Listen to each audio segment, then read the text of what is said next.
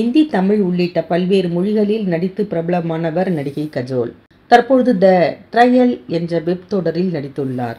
இந்த தொடர் குறித்து ஒரு தொலைக்காட்சி நிகழ்ச்சிக்கு பேட்டியளித்த போது நடிகை கஜோல் கூறிய சில கருத்துக்கள் இணையத்தில் தற்பொழுது பேசு பொருளாகிவிட்டது அந்த நிகழ்ச்சியில் கல்வியின் முக்கியத்துவம் குறித்து பேசிய நடிகை கஜோல் இந்தியாவை போன்ற ஒரு நாட்டில் மாற்றங்கள் மிக மிக மெதுவாகவே நிகழ்கின்றன.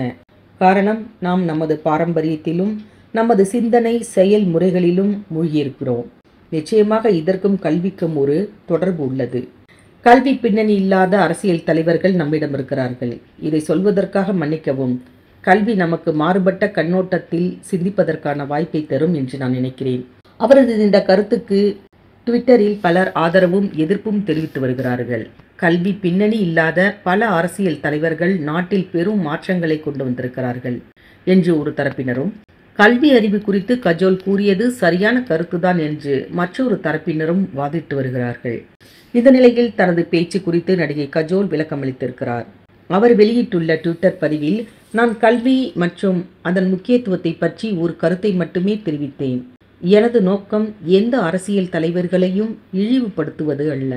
நாட்டை சரியான பாதையில் வழிநடத்தும் சில சிறந்த தலைவர்கள் நம்மிடம் இருக்கிறார்கள் என்று பதிவிட்டிருக்கிறார்.